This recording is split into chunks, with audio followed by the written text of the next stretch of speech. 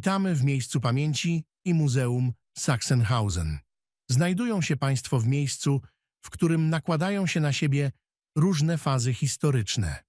Od 1936 do 1945 roku znajdował się tutaj obóz koncentracyjny Sachsenhausen. W latach 1945-1950 na części terenu dawnego obozu koncentracyjnego Sowiecki wywiad NKWD prowadził największy obóz specjalny w Niemczech Wschodnich. W 1961 roku w tym miejscu otwarto Narodowe Miejsce Pamięci Sachsenhausen.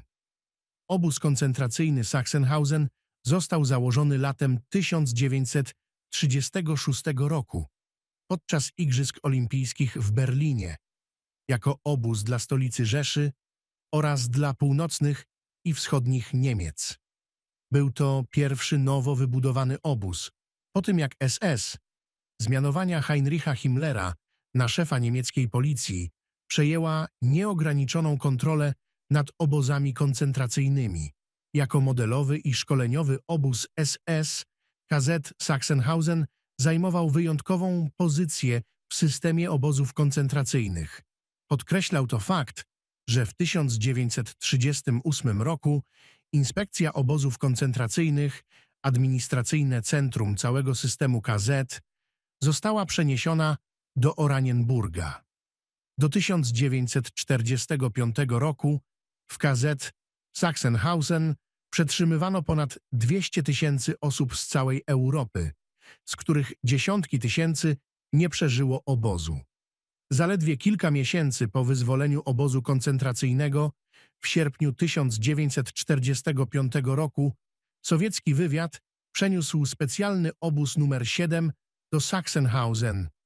W tym obozie przetrzymywano 60 tysięcy osób, z których 12 tysięcy zginęło. Narodowe Miejsce Pamięci Sachsenhausen, otwarte w 1961 roku, zostało w 1993 roku przemianowane na miejsce pamięci i Muzeum Sachsenhausen, stając się częścią Fundacji Miejsc Pamięci Brandenburgii, finansowanej po połowie przez rząd federalny i kraj związkowy Brandenburgia. Miejsce pamięci Marsz Śmierci w Bellowerwald jest oddziałem Miejsca Pamięci Sachsenhausen.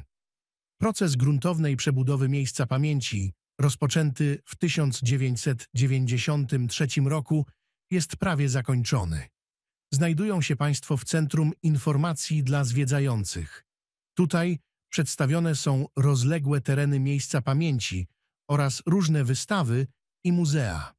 Budynek ten znajduje się na terenie byłej komendantury obozu koncentracyjnego Sachsenhausen. Początkowo zbudowany jako warsztat do konserwacji i naprawy broni został prawdopodobnie przebudowany na rzeźnie w 1941 roku. W czasach sowieckiego obozu specjalnego służył jako magazyn żywności. Od 1956 do 1990 roku budynek był wykorzystywany przez Narodową Armię Ludową NRD. Kiedy fundacja przekształciła go w centrum dla zwiedzających, w kwietniu 2003 roku odkryto w nim butelkę z wiadomością od dwóch więźniów obozu koncentracyjnego Sachsenhausen z 1944 roku.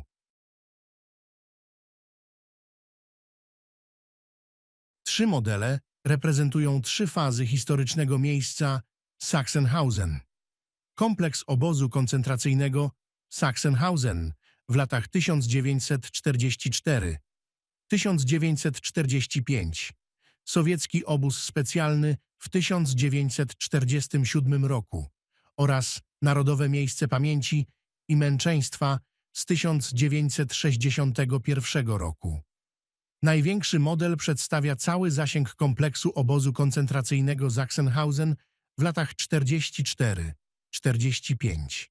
Kompleks obozowy obejmował wówczas prawie 400 hektarów i stanowił około 1 trzeciej całkowitej powierzchni miasta Oranienburg. Obszar centralny składał się z wyraźnie rozpoznawalnego, trójkątnego w zarysie, obozu więźniów oznaczonego jako 1, części południowej obejmującej komendanturę, obozu oznaczonej jako 7 oraz obozu wojsk SS oznaczonego jako 8. Na południowy zachód znajdował się budynek w kształcie litery T, będący siedzibą administracji wszystkich obozów koncentracyjnych. Dwaj liderzy SS mieszkali ze swoimi rodzinami w dwóch osiedlach SS. Jedno znajdowało się obok budynku w kształcie litery T i wzdłuż dzisiejszej Bernauer Strasse, a drugie na północnym krańcu trójkąta obozowego. Rezydencja inspektora obozu koncentracyjnego znajdowała się w najbardziej na południowy wschód wysuniętym zakątku obozu wojsk SS. Sachsenhausen był pierwszym obozem, który został zaprojektowany na desce kreślarskiej przez architekta SS. Obóz więźniów, komendantura obozu i obóz wojsk SS, a także centralna administracja zostały zgrupowane w jedną całość na planie dużego trójkąta i zorganizowane przy użyciu dwóch głównych osi. Oś obozowa 3 biegła między komendanturą obozu a obozem wojsk SS, a oś środkowa zaczynała się od wejścia do obozu wojsk SS, rozpoznawalnego po dwóch flankujących bramach i kończyła na północnym krańcu trójkąta.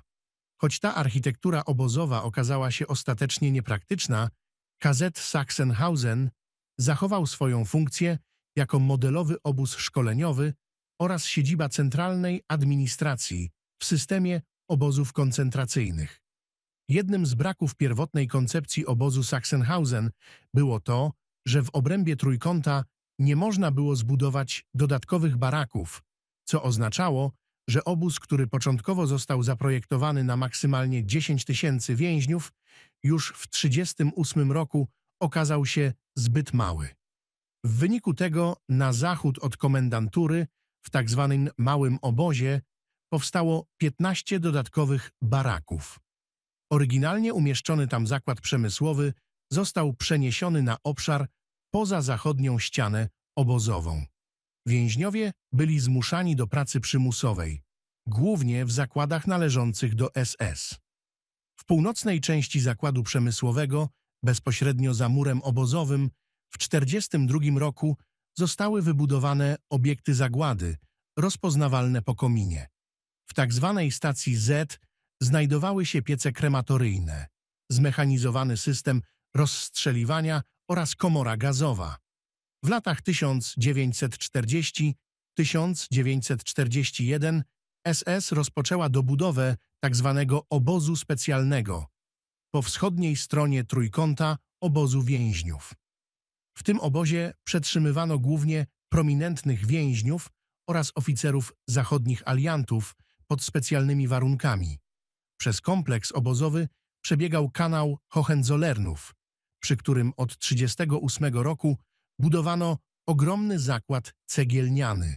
Więźniowie obozu koncentracyjnego mieli produkować cegły na przebudowę Berlina na stolicę Rzeszy, Germanię. Po zmianie sytuacji wojennej w latach 42-43 więźniowie byli zmuszani do pracy przy przetwarzaniu surowców dla przemysłu zbrojeniowego oraz produkcji pocisków. Kompleks cegielniany, który w 1941 roku stał się samodzielnym podobozem z barakami dla więźniów, był czasami używany jako karcer. Więźniowie nazywali go obozem śmierci, ponieważ szczególnie znienawidzone grupy więźniów, takie jak Żydzi, Sinti i Romowie, homoseksualiści czy polscy intelektualiści, byli tam mordowani w najbardziej okrutny sposób. W wyniku alianckiego nalotu bombowego w kwietniu 1945 roku, podczas którego zginęło wielu więźniów, cegielnia została w dużej mierze zniszczona. W ogromnym obszarze leśnym na północ od kanału Hohenzollernów i na wschód od obozu specjalnego więźniowie obozu koncentracyjnego musieli budować liczne baraki od początku wojny. W tak zwanych komendach leśnych znajdowały się magazyny sprzętu wojskowego, ogrody, stajnie, obiekty do szkolenia psów, baraki na łupy, strzelnice i wiele innych. Kompleks obozowy Sachsenhausen przypominał małe miasto z obszarami mieszkalnymi, budynkami administracyjnymi, ogromnymi zakładami produkcyjnymi, koszarami, wodociągami, centrum energetycznym, drogami transportowymi i ogrodami.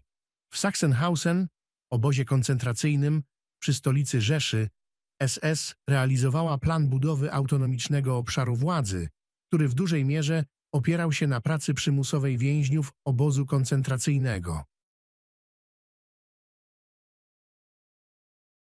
Po przejściu przez przestrzeń między betonowymi płytami, które wyznaczają przebieg muru obozowego, wchodzą Państwo na dawną Lagerstrasse, mającą długość około 700 metrów. Ulica ta biegnie niemal dokładnie z zachodu na wschód. Oddziela ona obszar komendantury obozu od obozu wojsk SS, którego ogromny kompleks można zobaczyć po prawej, południowej stronie Lagerstrasse.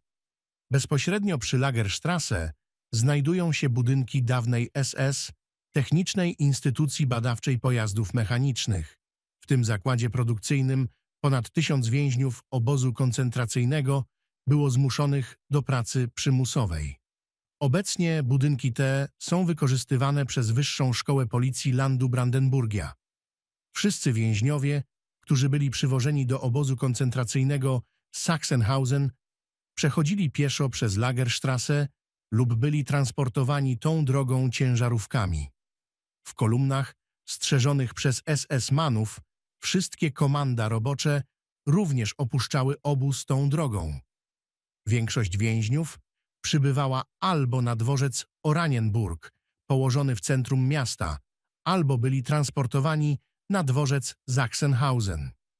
Jeśli przybyli na dworzec Oranienburg, musieli przeważnie w zamkniętych kolumnach pod eskortą SS przejść przez miasto. Wchodzili na Lagerstrasse od jej zachodniego krańca, niedaleko miejsca, w którym się teraz znajdujemy. Kiedy we wrześniu 1939 roku polscy Żydzi bezpaństwowcy zostali zmuszeni do marszu pieszo z dworca Oranienburg do obozu koncentracyjnego. Na ulicach po drodze stały nawet kobiety i dzieci, które rzucały w więźniów kamieniami i krzyczały nazistowskie hasła. Większa liczba więźniów prawdopodobnie przybyła na nieco bardziej oddalony dworzec Sachsenhausen, który znajdował się na północ od obozu koncentracyjnego. Stamtąd więźniowie wchodzili na Lagerstrasse od wschodu, czyli od przeciwległego końca Lagerstrasse względem miejsca, w którym się teraz znajdujemy. Przez pewien czas Lagerstrasse była nawet otwarta dla ruchu pojazdów publicznych. Chłopiec, który spędzał wakacje w jednym z sąsiednich prywatnych domów, opisał w liście do swoich rodziców w 1944 roku to, co mógł zaobserwować na Lagerstrasse. Treść listu znajduje się w budynku muzeum. Zielony, drewniany budynek, którego tył widzą Państwo tutaj, był tak zwanym budynkiem gospodarczym SS. Znajduje się na terenie, na którym stacjonowały i były szkolone oddziały wartownicze SS Totenkopf. Ten obóz został zbudowany równocześnie z obozem dla więźniów. Obejmował on baraki dla załogi rozmieszczone wokół placu Musztry, budynki administracyjne, garaże, łaźnie oraz własną kotłownię. Budynek gospodarczy SS znajdował się w centrum kompleksu obozowego. SS-mani spotykali się tam na posiłki i towarzyskie wydarzenia, podczas których byli obsługiwani przez więźniów w białych mundurach.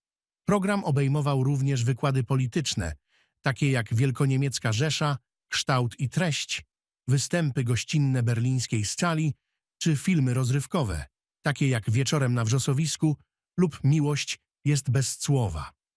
Podczas budowy systemu obozów koncentracyjnych SS od samego początku dążyło także do utworzenia własnych oddziałów wojskowych, konkurujących z Wehrmachtem.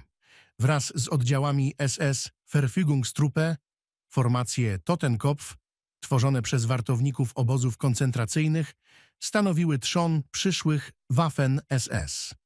Po rozpoczęciu II wojny światowej obóz Sachsenhausen został rozbudowany do roli militarnej placówki zaopatrzeniowej, gdzie coraz częściej produkowano uzbrojenie dla Waffen-SS i Wehrmachtu. Również w obozie wojskowym SS powstały warsztaty i magazyny. Podczas wojny obóz wojskowy Sachsenhausen był stale obsadzony przez ponad 3000 mężczyzn, którzy odbywali tam szkolenie wojskowe. Średni wiek tych mężczyzn wynosił 20 lat. Mieli być tak młodzi, aby według inspektora obozów koncentracyjnych i dowódcy oddziałów SS Totenkopf Teodora Eike bezinteresownie zapomnieć o własnym ja, a jeśli zajdzie potrzeba, bez zastrzeżeń wypełniać swoje obowiązki. Kompania z batalionu wartowniczego przejmowała zewnętrzną ochronę obozu i nadzorowała więźniów podczas ich przemieszczania się po mieście do licznych komand roboczych. W obozie wojskowym SS mieściło się wiele centralnych instytucji całego systemu obozów koncentracyjnych, w tym szkoła sanitarna SS. Tam lekarze obozowi byli szkoleni w stosowaniu różnych metod zabijania, a personel obsługujący komory gazowe był szkolony w ich obsłudze. Po 1945 roku na terenie dawnego obozu wojskowego stacjonowały różne jednostki Armii Czerwonej. Od 1956 roku obszar ten był wykorzystywany przez Narodową Armię Ludową NRD. Obecnie na zachód od kasyna znajdują się Wyższa Szkoła Policji Landu Brandenburgia oraz Policja Prewencyjna. Ta brama była oryginalnym wejściem do komendantury obozu koncentracyjnego Sachsenhausen. Znajduje się dokładnie na osi centralnej kompleksu obozowego. Więźniowie wchodzili do obozu przez charakterystyczny budynek wejściowy. Tak Turn A. Procedura przyjęcia po przybyciu do obozu, oprócz biurokratycznej rejestracji, służyła przede wszystkim upokarzaniu przybywających więźniów. Były więzień Walter Schwarze, który w maju 1940 roku został przetransportowany do obozu Sachsenhausen jako homoseksualista, wspomina Przed oczami stały szeregi SS ze swoimi owczarkami. Wywoływano nas, a każdy dostawał kilka razy w twarz, w tyłek albo gumową pałką przez plecy. Znajdują się państwo w dawnym obszarze komendantury obozu koncentracyjnego Sachsenhausen. Tutaj znajdowały się biura, kwatery i kasyno dla około 200 członków sztabu komendantury SS. Jako komendanci obozu, oficerowie odpowiedzialni za raporty, oficerowie odpowiedzialni za zatrudnienie więźniów, blokowi, lekarze obozowi lub sanitariusze, mieli oni bezpośredni kontakt z więźniami lub jako członkowie gestapo obozowego czy administracji bezpośrednio decydowali o ich losie. To oni również popełnili większość morderstw. Natomiast malownicze urządzenie obszaru komendantury z kwietnikami, stawem i niskimi drewnianymi płotkami w środku tego terroru stwarzało pozory idylli. Podczas gdy niemieccy naziści w pierwszych obozach koncentracyjnych chcieli głównie wyeliminować swoich politycznych przeciwników wraz z budową Sachsenhausen w 1936 roku rozpoczęła się zupełnie nowa faza w rozwoju systemu obozów koncentracyjnych. Nowe obozy koncentracyjne, zamiast być na peryferiach społeczeństwa narodowo-socjalistycznego, przesunęły się do jego centrum, stając się narzędziami mobilizacji, polityki gospodarczej, polityki społecznej, a przede wszystkim polityki rasowej. W liście do ministra sprawiedliwości Rzeszy z 8 lutego 1937 roku Reichsführer SS i szef niemieckiej policji Heinrich Himmler, nie kryjąc dumy, donosił, że w pobliżu stolicy Rzeszy stworzył zupełnie nowy, w pełni nowoczesny obóz koncentracyjny, który można w każdej chwili rozbudować przy stosunkowo niewielkich nakładach. Jak pisze dalej w liście, obóz ten miał sprostać wszelkim wymaganiom i potrzebom, zapewniając zarówno w czasie pokoju, jak i w razie mobilizacji pełne bezpieczeństwo Rzeszy przed wrogami państwa i szkodnikami państwowymi. Sowiecki wywiad NKWD w 1945 roku utworzył swoją komendanturę obozu w tych samych barakach, aby zarządzać obozem specjalnym, do którego należało około 30 oficerów oraz ponad 120 żołnierzy i podoficerów odpowiedzialnych za nadzór i straż nad obozem. W przeciwieństwie do członków SS, członkowie komendantury sowieckiego obozu specjalnego rzadko mieli kontakt z więźniami. Złe traktowanie lub nadużycia były raczej wyjątkiem. Do 1950 roku w zachowanym jeszcze baraku komendantury rezydował pułkownik sowieckiego wywiadu Aleksej Kosuchin. W niepozornym, szarym, kamiennym baraku przed państwem mieściła się siedziba komendanta obozu koncentracyjnego Sachsenhausen.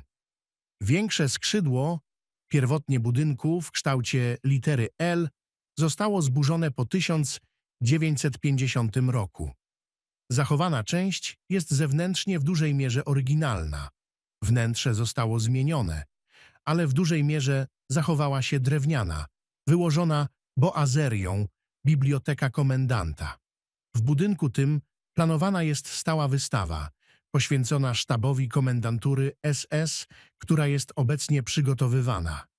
Przynależność do sztabu komendantury obozu koncentracyjnego Sachsenhausen była uważana za idealny krok w karierze w systemie obozów koncentracyjnych, którego centrala znajdowała się w bezpośrednim sąsiedztwie.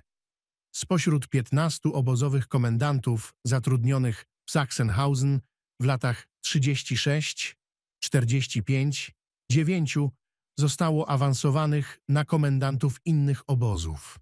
Ogółem siedmiu komendantów pełniło służbę w domu komendanta między 1936 a 1945 rokiem.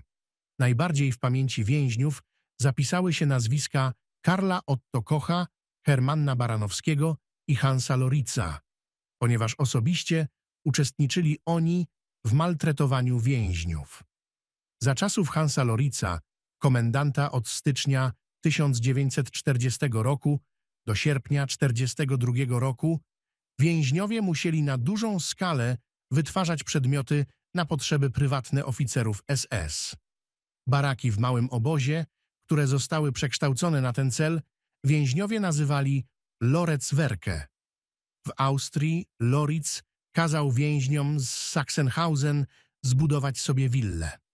Gdy od wiosny 1942 roku praca więźniów obozów koncentracyjnych w przedsiębiorstwach SS i w przemyśle zbrojeniowym zaczęła odgrywać coraz ważniejszą rolę, zmieniły się również wymagania wobec komendantów obozów. Podczas gdy wcześniej te stanowiska często obejmowali nieudolni w życiu cywilnym weterani NSDAP i SS, którzy mieli dobre osobiste relacje z Himmlerem i jego otoczeniem, teraz poszukiwano specjalistów od administracji. Takim był Anton Kindl, który odbył szkolenie w administracji Wehrmachtu i wcześniej pracował jako kierownik administracyjny w inspekcji obozów koncentracyjnych. Był komendantem obozu Sachsenhausen od sierpnia 1942 roku do kwietnia 1945 roku. Jako główny oskarżony Kindl został skazany w sowieckim procesie Sachsenhausen w październiku 1947 roku. W miejscu, gdzie znajduje się nowe muzeum, Pierwotnie znajdowały się garaże dla pojazdów sztabu komendantury SS. W pierwszych latach po założeniu obozu koncentracyjnego, w pojedynczych przypadkach, w tych garażach wystawiano ciała zmarłych więźniów, aby ich rodziny mogły się z nimi pożegnać. Jednak ta praktyka została całkowicie zaniechana wraz z gwałtownym wzrostem śmiertelności w obozie od początku wojny. W czasie działania sowieckiego obozu specjalnego jeden z garaży został przebudowany na dom kultury dla personelu obozu sowieckiego.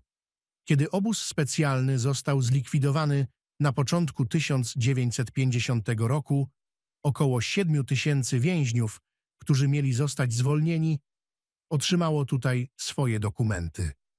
Jednak nie wszyscy więźniowie zostali zwolnieni w 1950 roku.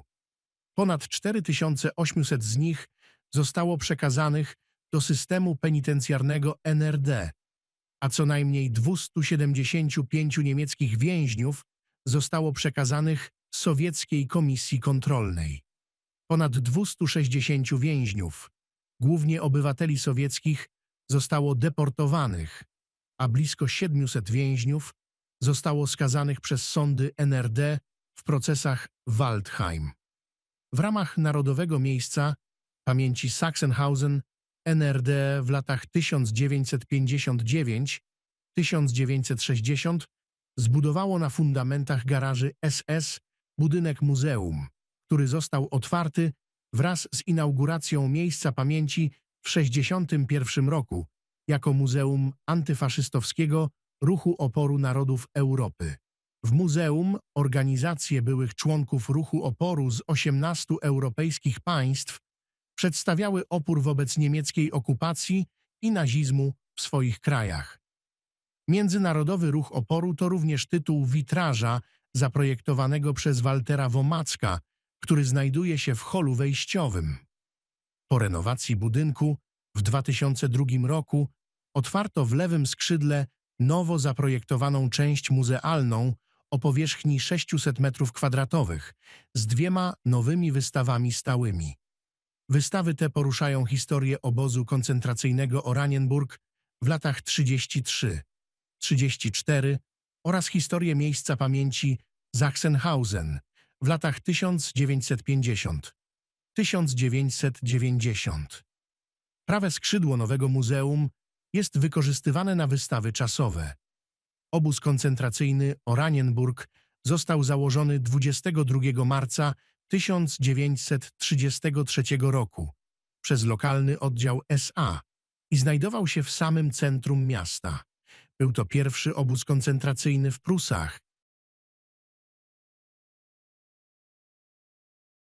Tak zwana wieża A była wejściem do obozu więźniarskiego, siedzibą administracji obozu SS oraz architektonicznym symbolem ich absolutnej władzy i podporządkowania więźniów kaprysom SS. Przez bramę z napisem Arbeit macht frei, praca czyni wolnym, więźniowie wchodzili do obozu. Znany od XIX wieku slogan prawdopodobnie został umieszczony zarówno w Sachsenhausen, jak i w Dachau przy wejściu do obozu więźniarskiego w 1938 roku, a później przejęły go inne obozy koncentracyjne, takie jak Auschwitz. Nocą brama była zamykana, a w ciągu dnia strażnicy SS stali przy niej, rygorystycznie kontrolując każdego więźnia przechodzącego przez bramę, gdy udawał się do komand roboczych. Te kontrole były bardzo stresujące dla więźniów obozu. Jeśli ktoś został przyłapany na próbie przemycenia kawałka chleba do obozu, mógł zostać surowo ukarany. Zdarzało się, że schwytani więźniowie byli na miejscu maltretowani lub nawet zabijani przez strażników SS. Na parterze prawej części budynku znajdowały się biura blokowych, którzy sprawowali bezpośrednią władzę nad więźniami w obozie. Zdarzało się, że strażnicy tacy jak niesławny Żelazny Gustaw czy pasty pistolen Schubert nagle wybiegali z biura blokowego, aby maltretować i dręczyć więźniów. W pomieszczeniach pocztowych i cenzorskich na parterze po lewej stronie Więźniowie oraz ich przełożeni z SS sprawdzali przychodzącą i wychodzącą pocztę. Większość więźniów mogła pisać listy co dwa miesiące. Musiały być one napisane w języku niemieckim i nie mogły zawierać żadnych informacji o obozie koncentracyjnym, ani o prawdziwym stanie zdrowia piszącego. Za naruszenia tych zasad więźniowie mogli zostać ukarani i wykluczeni z dalszej korespondencji. Na pierwszym piętrze znajdowały się biura raportowego, oficera odpowiedzialnego za zatrudnienie więźniów oraz komendanta obozu. Ci trzej oficerowie SS mieli ogromny wpływ na traktowanie więźniów obozowych oraz na warunki panujące w barakach. To również oni przeprowadzali większość zarządzonych akcji mordowania więźniów. W sowieckim obozie specjalnym wieża A była siedzibą administracji obozu. W przeciwieństwie do innych historycznych budynków, wieża A przetrwała stosunkowo nienaruszona, pomimo zmiany użytkowania, jak i zniszczeń dokonanych we wczesnych latach 50. Od 1961 roku w wieży A znajdowały się biura kierownictwa Miejsca Pamięci. Obecnie w wieży A znajduje się stała wystawa na temat zbrodni i sprawców z SS w obozach koncentracyjnych oraz architektonicznego projektu modelowego obozu Sachsenhausen. Przed państwem znajdują się zabezpieczenia dawnego obozu koncentracyjnego. Zostały one zrekonstruowane podczas tworzenia miejsca pamięci w 1961 roku. Zabezpieczenia składały się z zawsze starannie wygrabionego pasa żwiru i piasku, na którym ustawiono tabliczki z trupimi czaszkami, ostrzegające więźniów przed wejściem na ten teren. Był to tak zwany pas śmierci. Wystarczyło, że więzień wszedł na niego, nawet przypadkowo, i mógł zostać natychmiast zastrzelony, bez ostrzeżenia. Strażnik, który to zrobił, otrzymywał za to premię pieniężną i specjalny urlop. Pas śmierci kończył się na drucie kolczastym, który był pod napięciem 300 voltów. Nierzadko zdarzało się, że więźniowie, którzy nie mogli już wytrzymać warunków w obozie, rzucali się na ten drut. Przestrzeń pomiędzy ogrodzeniem z drutu kolczastego a dwuipółmetrowym murem obozu patrolowali uzbrojeni strażnicy SS. Cały obszar obozu więźniarskiego w kształcie trójkąta był otoczony tymi wielokrotnymi zabezpieczeniami. Tylko nielicznym więźniom udało się uciec. Jako siedziba administracji obozowej, wieża A miała również centralne znaczenie w architektonicznej koncepcji Sachsenhausen. Zgodnie z planami architekta SS, obóz więźniarski został zaprojektowany na planie równoramiennego trójkąta. Przed wieżą A znajdował się półkolisty plac apelowy, wokół którego rozmieszczono 53 baraki mieszkalne dla więźniów. Cała przestrzeń między barakami miała być widoczna i kontrolowana z wieży A. Jeśli spojrzą Państwo w górę, zobaczą Państwo na wieży A drewniany wykusz. Stał tam karabin maszynowy, z którego można było ostrzelać cały teren obozu. Architekt SS zaprojektował Sachsenhausen według geometrii totalnego terroru. Jednak w praktyce modelowy obóz okazał się nieprzydatny, ponieważ nie można było go rozszerzyć bez porzucenia pierwotnej koncepcji. Ponadto pożądana widoczność nie była zapewniona, więc stopniowo budowano dodatkowe wieże strażnicze. Gdy w latach 1956-1957 rozpoczęto budowę Narodowego Miejsca Pamięci Sachsenhausen z pierwotnie ponad 60 budynków w obozie więźniarskim pozostało tylko 15. Jednak wyburzenia trwały dalej. Architekci z kolektywu Buchenwald, którzy zostali zatrudnieni do zaprojektowania miejsca pamięci, doszli do wniosku, że nie oryginalne budynki, lecz jedynie elementy artystyczne są w stanie oddać grozę wydarzeń, które miały miejsce w obozie koncentracyjnym. Ponadto geometria totalnego terroru, która była charakterystyczna dla obozu Sachsenhausen, została świadomie zamazana przez budowę miejsca pamięci. Betonowy mur odgradzał osie widokowe wychodzące z wieży A, centrum władzy SS. Naprzeciwko wieży A architekci postawili monumentalny obelisk, który jako symbol zwycięskiego antyfaszystowskiego ruchu oporu miał w założeniu znacznie przewyższać symbol terroru nazistowskiego. Ziemia, pokryta czarnym żużlem i zdeptana przez tysiące stóp, została przekształcona w surowy, ale zadrzewiony park. W 1998 roku ogłoszono międzynarodowy konkurs architektoniczny na nową aranżację miejsca pamięci i Muzeum Sachsenhausen. Pierwszą nagrodę zdobył projekt biura architektonicznego profesora H.G. Merca. Zgodnie z tym projektem historyczne ślady trójkąta obozowego mają zostać ponownie odkryte, a modelowy charakter Sachsenhausen ma być znów zrozumiały dla odwiedzających.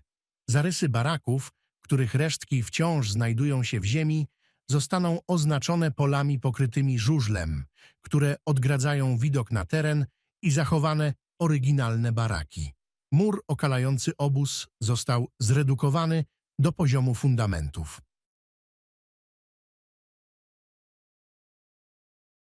O świcie stoisz na apelu, jak urzeczony wpatrujesz się w niego, iskry tańczą tam, żarzące się i jasne. Znowu odeszli twoi przyjaciele. Ile iskier widziałem już unoszących się i opadających jako popiół na brunatny mech. Ile odważnych, dzielnych żyć. Czy nie czeka wkrótce i na mnie ten los? Ten los. Te wersy pochodzą od porucznika Aleksandra Sztolterowa, który jako radziecki jeniec wojenny został przetransportowany do obozu koncentracyjnego Sachsenhausen. Wszyscy więźniowie obozu musieli do rozpoczęcia II wojny światowej trzykrotnie w ciągu dnia, a później tylko rano i wieczorem stawać na apel na półkolistym placu. Pobudka była o 4.15 rano, a do godziny 5 wszyscy więźniowie musieli być umyci i ubrani według surowych przepisów. Łóżka pościelone, a skromne śniadanie zjedzone. Ponieważ baraki przeznaczone dla 146 osób były często zajęte przez 300 i więcej więźniów, wszystko odbywało się w pośpiechu i prowadziło do wielkiego tłoku przy zbyt małej liczbie toalet i miejsc do mycia. Następnie więźniowie musieli stawać w pięciu rzędach na poranny apel, byli liczeni i dzieleni na komanda robocze. Apel odbywał się bez względu na pogodę, w deszczu, upale czy mrozie. Jeśli liczba więźniów się nie zgadzała, wszyscy musieli stać tak długo, aż brakujący zostali odnalezieni. Czasem przez całą noc i kolejny dzień. Wieczorem procedura się powtarzała. Nawet chorzy musieli stawać na apel. Nawet zwłoki zmarłych w międzyczasie były przynoszone i kładzione za ostatnimi. Nowo przybyli więźniowie często stali godzinami na betonowej drodze przed wieżą, nie mogąc się ruszyć. W końcu pojawiał się oficer SS, często kierownik obozu, czasem nawet komendant, aby przesłuchać nowo przybyłych. Następnie nowi więźniowie byli prowadzeni przez starszych więźniów do odwszawiania i dezynfekcji, gdzie golono im wszystkie włosy i przekazywano odzież obozową. Na betonowej drodze przed wieżą musieli również stać ci więźniowie, którzy zostali zgłoszeni przez SS-manów lub starszych więźniów do kary. Stanie w tym miejscu było zawsze związane z dużym niebezpieczeństwem, ponieważ ciągle przechodzili tędy SS-mani i znęcali się nad więźniami. Często więźniowie musieli godzinami trwać w tak zwanym grzbiecie saskim, w kucki, z wyciągniętymi do przodu rękami. Plac apelowy po 1945 roku stał się częścią strefy pierwszej, jak nazywano trójkąt obozu więźniów.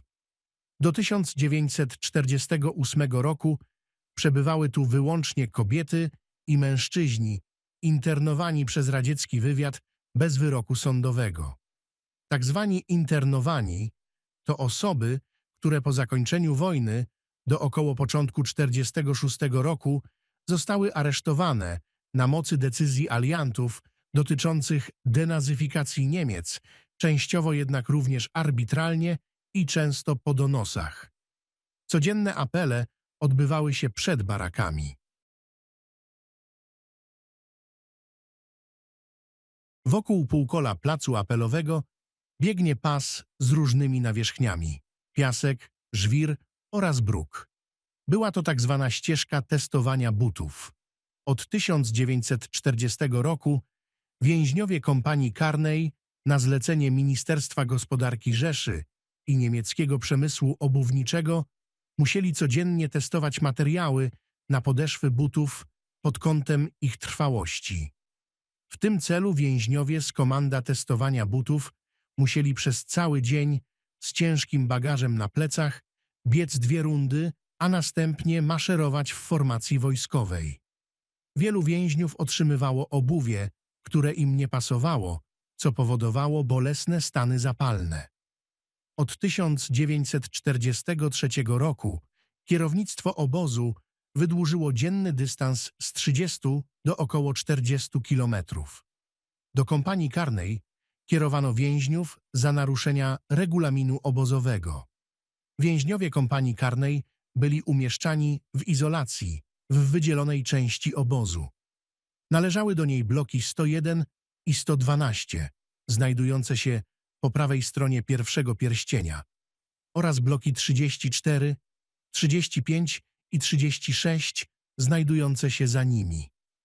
Różne grupy więźniów, takie jak badacze Pisma Świętego, czyli świadkowie Jehowy, czy więźniowie specjalnej jednostki Wehrmachtu, trafiały natychmiast po przybyciu na stałe do izolacji. Dotyczyło to okresu od 1940 do co najmniej 1942 roku, także więźniów homoseksualnych, przeciwko którym szczególnie często skierowana była agresja SS-manów pełniących funkcje blokowych. Więźniowie w izolacji byli nie tylko wykorzystywani do szczególnie ciężkich prac. Izolacja była również miejscem okrutnych maltretowań.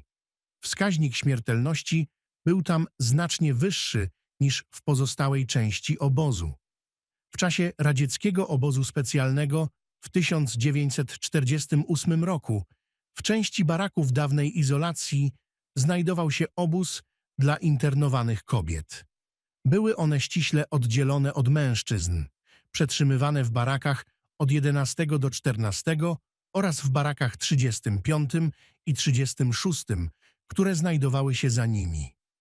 Walter Schwarz został przywieziony do obozu koncentracyjnego Sachsenhausen w maju 40 roku z powodu swojej homoseksualności. Przed sobą widzą Państwo teren tak zwanego małego obozu. Już dwa lata po założeniu obozu koncentracyjnego Sachsenhausen baraki w trójkącie obozowym nie wystarczały, aby pomieścić rosnącą liczbę więźniów. W odstępstwie od pierwotnej koncepcji architektonicznej SS latem 1938 roku wybudowała 18 dodatkowych baraków na prostokątnej powierzchni poza właściwym trójkątem obozowym, które nazwano Małym Obozem.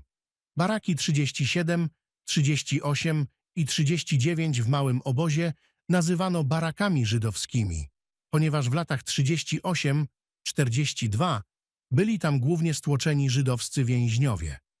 Baraki 16 i 17 były od 1940 roku, przeznaczone dla Stekomanda. W tych barakach więźniowie, którzy byli zbyt słabi, by pracować, musieli stać cały dzień ściśnięci w grupie. Baraki 20, 42 i 62 wzdłuż południowej ściany obozu mieściły tak zwane Loritzwerke. Komendant obozu Loritz kazał tam więźniom wytwarzać artykuły upominkowe i przedmioty codziennego użytku, głównie w celu osobistego wzbogacenia się. W październiku 1942 roku SS deportowało wszystkich żydowskich więźniów do obozu koncentracyjnego i zagłady Auschwitz. jedynie kilka specjalnych komand roboczych, takich jak warsztat zegarmistrzowski czy warsztat fałszerzy, składało się z żydowskich więźniów. Komando fałszerzy zostało utworzone jesienią 1942 roku w barakach 18 i 19. Żydowscy więźniowie w warunkach ścisłej tajemnicy musieli tam fałszować zagraniczne banknoty oraz dokumenty tożsamości i znaczki pocztowe na potrzeby Głównego Urzędu Bezpieczeństwa Rzeszy. W czasie funkcjonowania radzieckiego obozu specjalnego do 1948 roku w małym obozie początkowo przetrzymywani byli internowani mężczyźni. Następnie zgrupowano tu około 4 tysięcy internowanych i skazanych kobiet, tworząc batalion kobiecy, w tym ponad 70 matek z niemowlętami i małymi dziećmi. Warunki przetrzymywania w obozie specjalnym były katastrofalne. Radziecki regulamin obozowy wymagał całkowitej izolacji więźniów od świata zewnętrznego. Listy były zabronione. Więźniowie z reguły nie mogli pracować. Inne formy zajęć, takie jak czytanie, granie w karty czy śpiewanie, były czasowo surowo zakazane. Jedynie gra w szachy była dozwolona.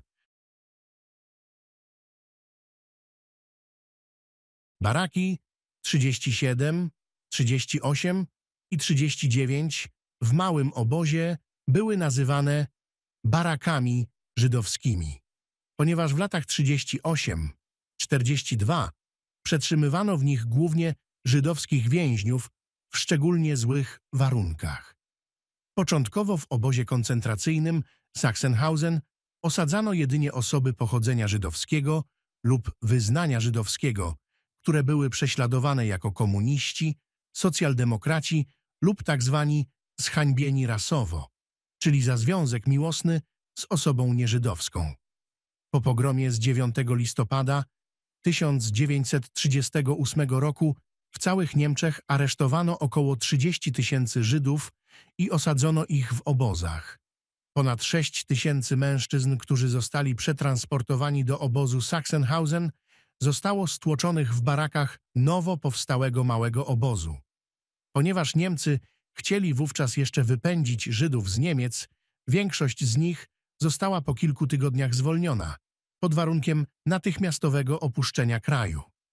Wiele starszych osób jednak już wcześniej padło ofiarą warunków panujących w obozie i celowych maltretowań ze strony SS.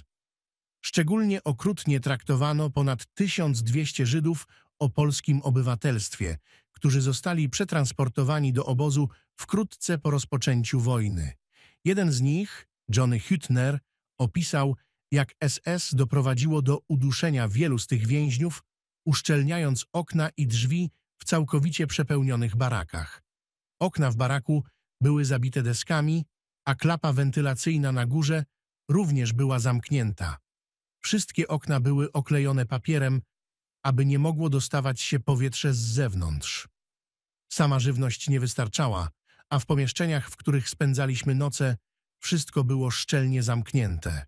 Gdy drzwi nie były otwierane, brakowało powietrza. Hüttner sam brał udział w wyjątkowej akcji protestacyjnej więźniów w obozie Sachsenhausen. 22 października 1942 roku wszyscy żydowscy więźniowie mieli podczas apelu wystąpić, aby zostać przetransportowani do Auschwitz. Ponieważ kilka miesięcy wcześniej na rozkaz Himmlera zamordowano 250 Żydów jako zakładników, obawiali się podobnego losu. Hüttner i 17 jego towarzyszy z baraku 39 nie chcieli umrzeć bez walki. Przerwali kordon SS-manów pełniących funkcje blokowych i wdarli się na plac apelowy z okrzykiem Nie damy się zarżnąć, chcemy zginąć w walce. Zostali obezwładnieni, ale bez kary wysłano ich do Auschwitz. Niektórzy z nich przeżyli nawet Auschwitz. Po deportacji pozostałych żydowskich więźniów do obozu koncentracyjnego i zagłady Auschwitz w październiku 1942 roku do 1944 roku w obozie Sachsenhausen pracowali jedynie nieliczni żydowscy więźniowie w specjalnych komandach. Po stopniowej likwidacji dużych obozów w Polsce od 1944 roku SS przepędzało tysiące Żydów w marszach śmierci do Sachsenhausen i jego licznych podobozów. Na kilka miesięcy przed końcem wojny SS oddzieliło mały obóz drutem kolczastym. Następnie zgromadzono tam kobiety ewakuowane z podobozów Sachsenhausen, wśród nich wiele Żydówek z Węgier. Baraki 38 i 39, które widzą Państwo dzisiaj, zostały zrekonstruowane w 1961 roku z elementów innych baraków jako część pomnika upamiętniającego. Znalazła się tam niewielka wystawa dotycząca prześladowań Żydów w okresie narodowego socjalizmu. To, że początkowo nie uwzględniono tego w planach pomnika, wywołało międzynarodowe protesty. W nocy z 25 na 26 września 1999 roku, zaledwie kilka dni po wizycie premiera Izraela Itzhaka Rabina, dwa baraki zostały częściowo zniszczone w wyniku podpalenia przez skrajnie prawicowych ekstremistów. W kolejnych latach zostały one odbudowane w taki sposób, aby ślady pożaru pozostały widoczne. W baraku 38 znajduje się teraz wystawa stała Żydowscy więźniowie w KZ Sachsenhausen w latach 36-45. Poza pracą więźniowie obozów koncentracyjnych najczęściej przebywali w barakach. Baraki mieszkalne, zbudowane z drewnianych prefabrykatów według standardowych typów, miały pomieścić około 150 osób. W rzeczywistości SS upychało w nich zazwyczaj znacznie więcej ludzi. Baraki składały się z dwóch identycznych skrzydeł, z których każde miało osobny pokój sypialny i dzienny.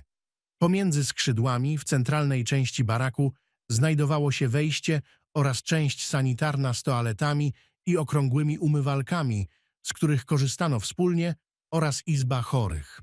W sypialniach baraków stały zazwyczaj trzypoziomowe drewniane łóżka ustawione w ciasnych rzędach. Więźniowie często musieli dzielić jedno miejsce do spania z dwiema lub trzema osobami. W szczególnych przypadkach, takich jak przywóz polskich Żydów we wrześniu 1939 roku, SS zastępowało łóżka workami ze słomą. Przy bardzo gęstym upakowaniu można było obracać się we śnie tylko wspólnie z innymi. Każdego ranka więźniowie musieli w ciągu kilku minut umyć się i skorzystać z toalet. W tym dużym tłoku nie było miejsca na prywatność.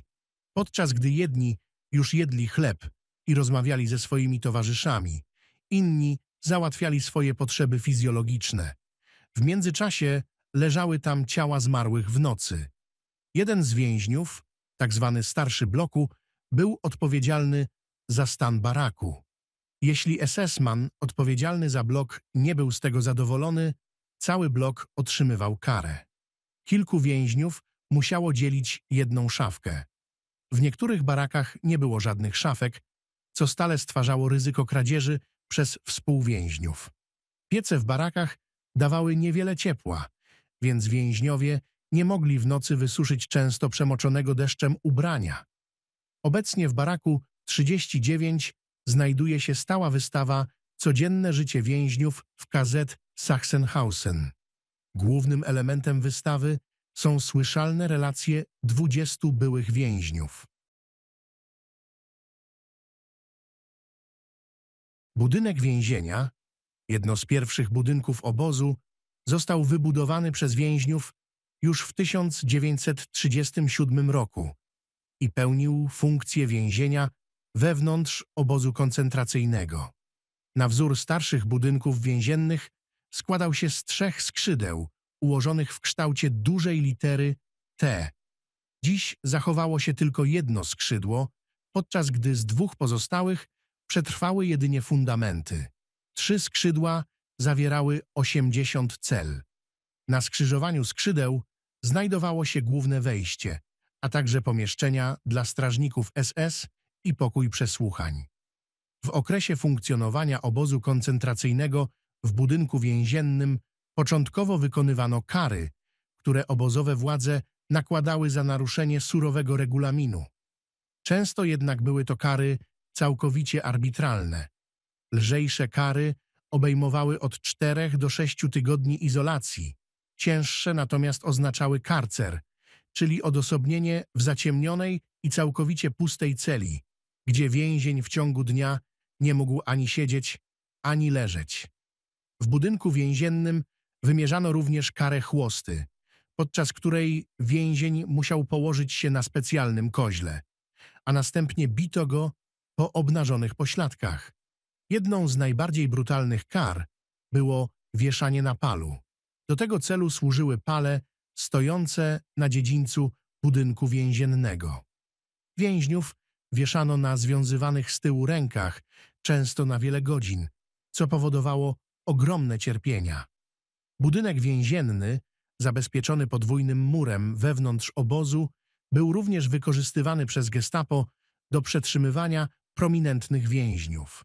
Na przykład od 1938 roku był tutaj więziony pastor Martin Niemeller, osobisty więzień Führera, który, jak wszyscy duchowni, został w 1941 roku przeniesiony do obozu Dachau. Po swoich siedmiu latach spędzonych w obozach koncentracyjnych, Niemeller powiedział później A gdy ktoś mnie pyta, czy było naprawdę aż tak źle, mogę tylko powiedzieć, było tysiąc razy gorzej. W budynku więziennym przetrzymywani byli również jezuita ojciec Rupert Mayer, zamachowiec na Hitlera Georg Elser oraz młody Żyd Herschel Greenspan, którego zamach na niemieckiego urzędnika w Paryżu stał się pretekstem dla Niemców do przeprowadzenia pogromu Żydów 9 listopada 1938 roku. Po rozpoczęciu wojny SS coraz częściej więziło w budynku więziennym osobistości europejskiego ruchu oporu przeciwko nazistowskim Niemcom. Wśród nich byli funkcjonariusze partii komunistycznych z Danii i Węgier, dowódca Polskiej Armii Krajowej, były premier Francji, a także oficerowie brytyjskiej marynarki wojennej i wywiadu. W okresie funkcjonowania radzieckiego obozu specjalnego budynek ten służył na początku i podczas zwolnień w 1950 roku jako stacja kwarantanny. Poza tym nieprzerwanie pełnił funkcję więzienia dla więźniów, którzy byli karani za naruszenia regulaminu obozowego, takie jak handel wymienny, nawiązywanie kontaktów między mężczyznami a kobietami, kradzież czy próby ucieczki. W obozie było wielu więźniów, szpiegów, którzy mieli informować radziecką administrację obozową o takich przewinieniach. Jeśli spojrzymy z miejsca, w którym się obecnie znajdujemy, naprzeciwko na wschodni mur obozowy, zobaczymy dawne przejście między strefą pierwszą a strefą drugą sowieckiego obozu specjalnego. W obu strefach różne grupy więźniów były od siebie oddzielone. Aby umożliwić szybsze i z zewnątrz niewidoczne połączenie między strefami, kierownictwo obozu w 1946 roku w tym miejscu przerwało mur obozowy. Dieter Scheibl, który od lutego 1946 roku był więziony w strefie drugiej, wspomina. Jedzenie było gotowane w sąsiednim głównym obozie i przewożone do nas na wózku ciągniętym przez współwięźnia.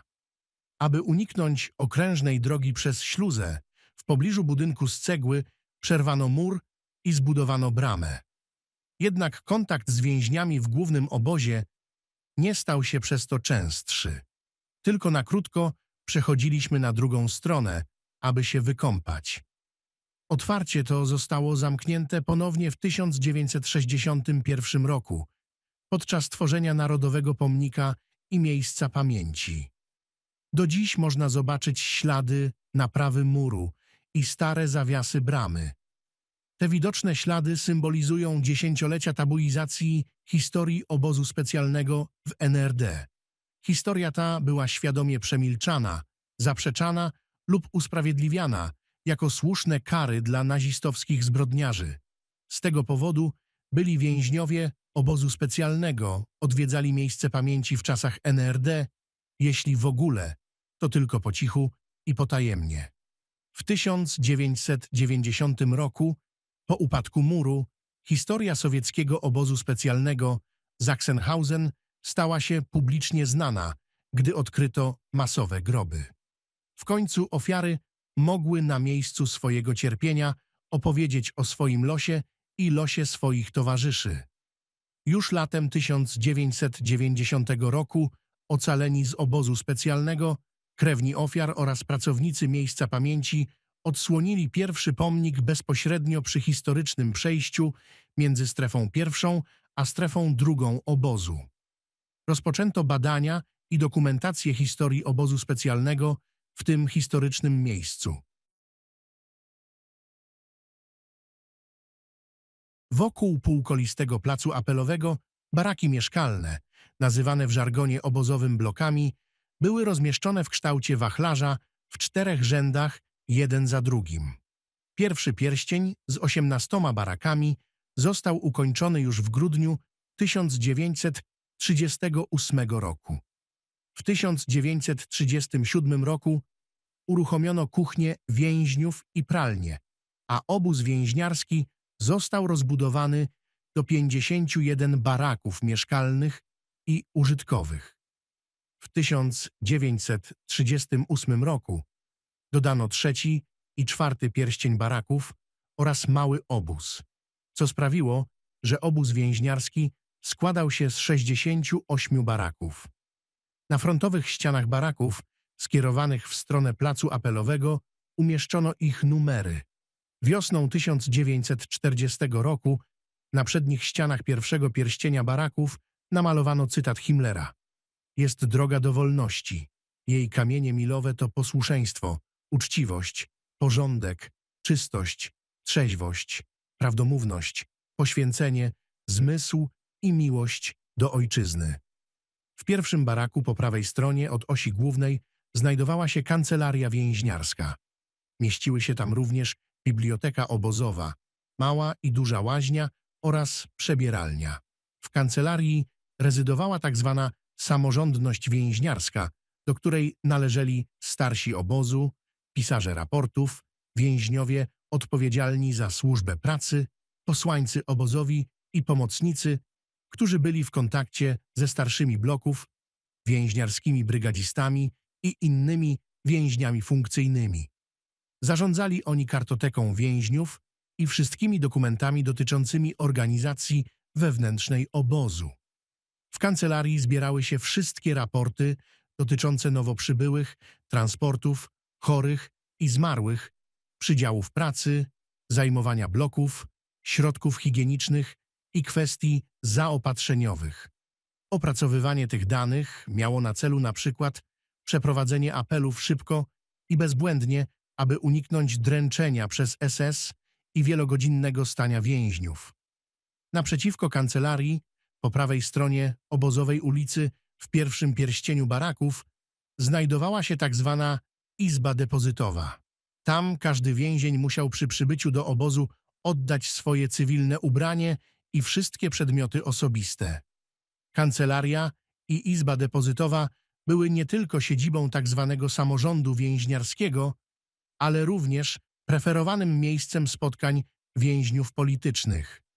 16 sierpnia 1945 roku do baraków dawnego obozu koncentracyjnego wprowadzili się pierwsi więźniowie sowieckiego obozu specjalnego Sachsenhausen. Przybyli po wyczerpującym marszu pieszym z pierwotnej lokalizacji obozu specjalnego numer 7 W dwóch otworach, które można zobaczyć na ziemi po lewej i prawej stronie kamiennej tablicy, ustawiano szubienicę podczas egzekucji. Składała się ona z dwóch podpór i poprzecznej belki. Na Boże Narodzenie SS umieszczało w jednym z tych otworów dużą choinkę jako drzewko świąteczne. Egzekucje na szubienicy odbywały się na placu apelowym na oczach wszystkich więźniów.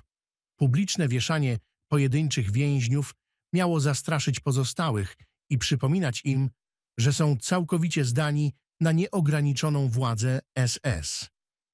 24 maja 1942 roku SS powiesiło więźnia Hansa Trudela na placu apelowym po jego nieudanej próbie ucieczki. Próby ucieczki były również powodem wielu innych egzekucji. Ucieczka z wielokrotnie zabezpieczonego i pilnie strzeżonego obozu, który znajdował się w środku koszar i osiedli SS, była prawie niemożliwa i mogła zakończyć się sukcesem tylko wtedy, gdy więźniowie otrzymali pomoc z zewnątrz. Jeden z więźniów zdołał uciec w kobiecych ubraniach, które zdobyła dla niego cywilna pracownica jego miejsca pracy. Prawdopodobnie najbardziej spektakularna ucieczka z obozu Sachsenhausen miała miejsce latem 1944 roku. Młody polski podchorąży przekonał jednego z SS-manów do wspólnej ucieczki. W mundurach SS i z fałszywymi dokumentami przedostali się do północnej Francji, gdzie dotarli do alianckich oddziałów inwazyjnych, które właśnie wylądowały. Większość prób ucieczki kończyła się jednak już na terenie obozu lub najpóźniej przy ogrodzeniu z drutu kolczastego pod napięciem. Szczególnie od 1944 roku nawet drobne wykroczenia w pracy były karane śmiercią jako sabotaż. Młody Ukrainiec wyciął kawałek skóry z wojskowego plecaka, aby zrobić sobie z niego podeszwy do butów. Za to najpierw otrzymał 50 uderzeń batem, a następnie został powieszony. W budynku z kamienia, wybudowanym w 1937 roku, znajdowała się pralnia obozowa, gdzie w dużych odstępach czasu czyszczono odzież więźniów. Obecnie znajduje się tam sala wystaw, w której w ramach pokazów warsztatowych prezentowane są nowe nabytki z depozytu i archiwum. Pierwotnie w większej części budynku znajdowały się trzy duże kotły do gotowania mydła, siedem pralek i pięć wirówek. W mniejszej części znajdowała się sala prasowania. Barak do suszenia prania obok pralni był miejscem różnych wydarzeń rozrywkowych. Na małej scenie, przed nawet 500 widzami, odbywały się koncerty, spektakle teatralne i wieczory rozrywkowe, częściowo za zgodą SS, a częściowo bez niej. Wystawiano na przykład futro bobrowe i tkacze Gerharta Hauptmana, sceny z Fausta Goethego i zbójców Schillera, a nawet sztuki kabaretowe. Sztuka dawała więźniom możliwość, przynajmniej w wyobraźni, przekroczyć granice obozu.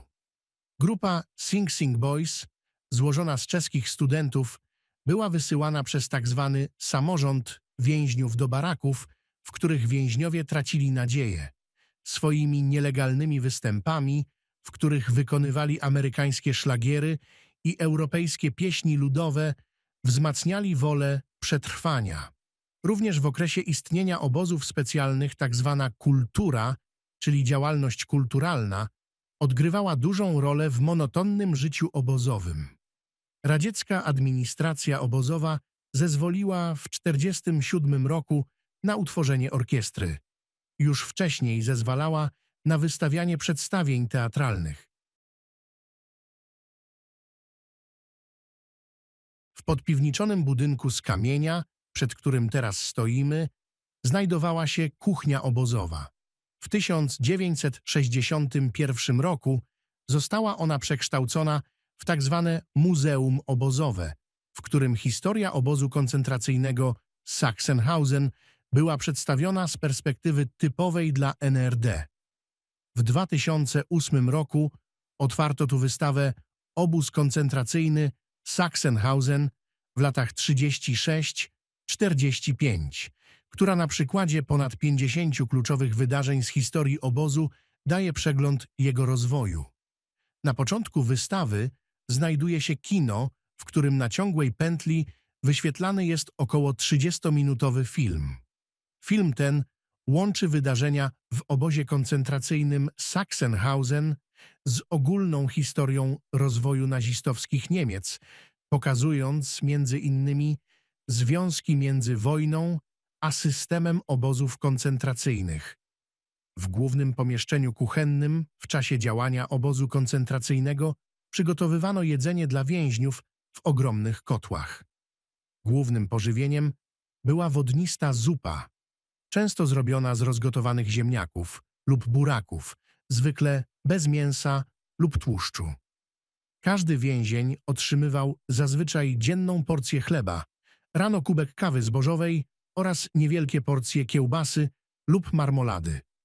Wraz ze wzrostem liczby więźniów podczas wojny porcje zmniejszały się, a jakość jedzenia ulegała dalszemu pogorszeniu. Rozdział zupy i chleba odbywał się blokami. W barakach toczyły się często zaciekłe spory o skromne racje, ale czasem dzielono się nimi z najsłabszymi więźniami. Praca w kuchni obozowej była pożądanym przydziałem. Była mniej wymagająca fizycznie niż w innych komandach i dawała możliwość poprawienia własnych racji żywnościowych, a czasem także przemycenia czegoś dla innych. Z drugiej strony, SS-man zarządzający kuchnią był uważany za szczególnie brutalnego wobec więźniów. Pod kuchnią znajduje się piwnica, w której obierano ziemniaki. Więźniowie myli ziemniaki w ogromnych betonowych blokach, a następnie je obierali. Na ścianach i filarach tej piwnicy można zobaczyć rysunki wykonane zarówno w czasach obozu koncentracyjnego, jak i obozu specjalnego. Krótki film wyświetlany w piwnicy informuje o pochodzeniu i znaczeniu tych rysunków. Film jest dostępny tylko w języku niemieckim i angielskim. Około 40-metrowy obelisk przed nami był centralnym pomnikiem i symbolem Narodowego Pomnika i Miejsca Pamięci Sachsenhausen w NRD, otwartego w 1961 roku. Na jego szczycie widnieje 18 czerwonych trójkątów. Upamiętniają one politycznych i zagranicznych więźniów obozu koncentracyjnego, pochodzących z 18 najważniejszych krajów europejskich.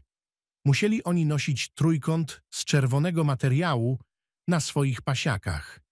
Inne grupy więźniów, oznaczone trójkątami w innych kolorach, tacy jak Żydzi, Sinti, Romowie, homoseksualiści czy świadkowie Jehowy, byli w NRD w dużej mierze wykluczeni z pamięci. W centrum pamięci NRD znajdowali się niemieccy komuniści.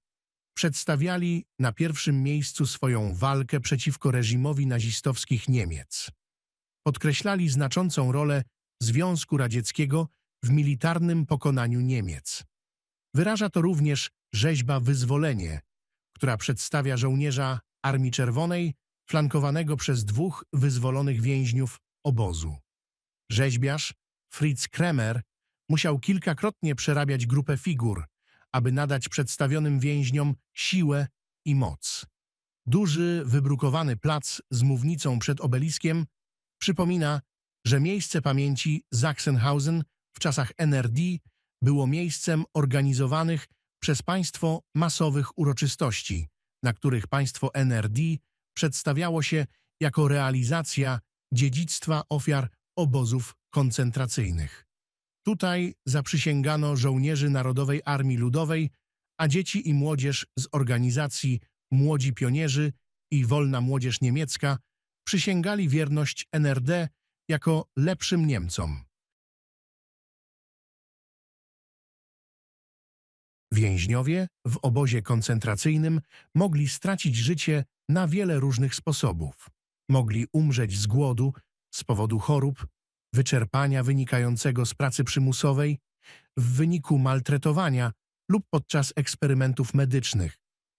Ponadto miały miejsce celowe akcje zabijania poszczególnych więźniów lub grup więźniów, które spełniają prawne kryteria morderstwa. Do egzekucji dochodziło przez rozstrzelanie, powieszenie lub w komorze gazowej, która została uruchomiona w 1943 roku.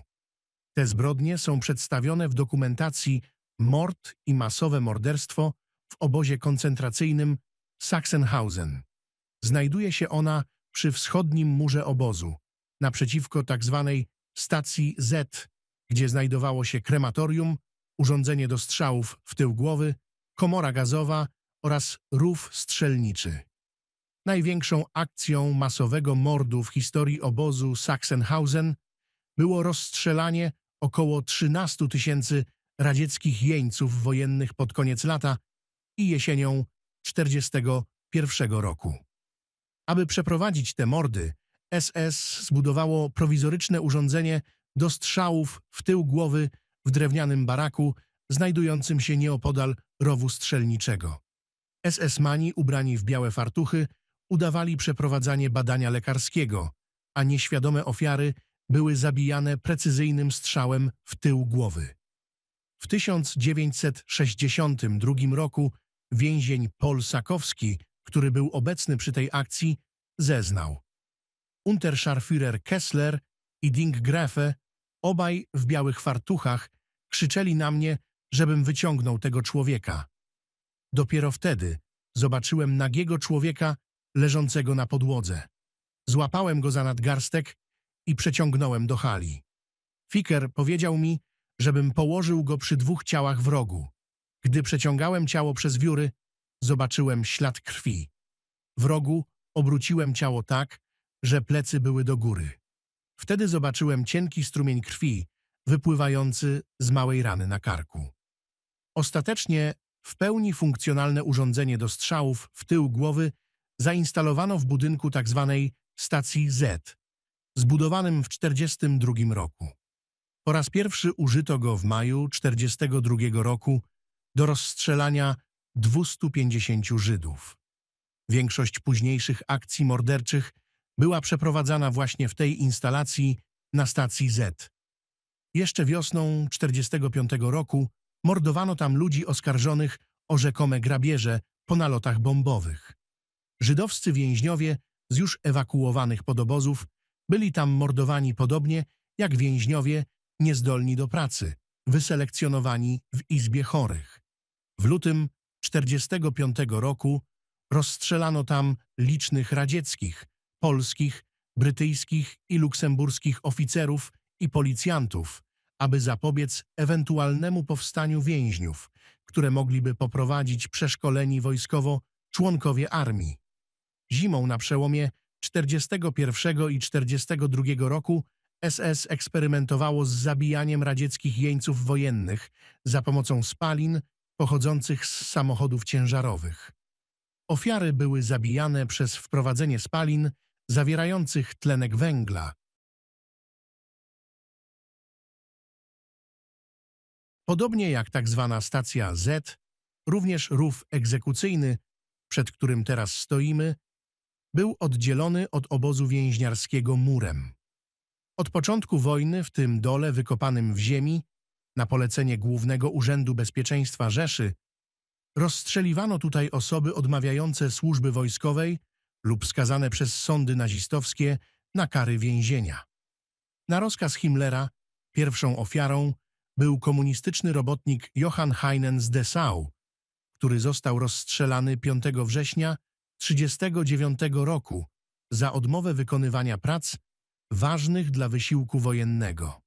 SS również korygowało tutaj wyroki niemieckich sądów specjalnych, a nawet Trybunału Ludowego, które Himmlerowi lub Hitlerowi wydawały się zbyt łagodne. Na przykład bracia Erich i Franz Sass, którzy w latach dwudziestych XX wieku zasłynęli z spektakularnych napadów na banki, zostali w 1940 roku skazani przez sąd specjalny w Berlinie na długie kary więzienia. Jednak zaraz po ogłoszeniu wyroku zostali rozstrzelani w Sachsenhausen.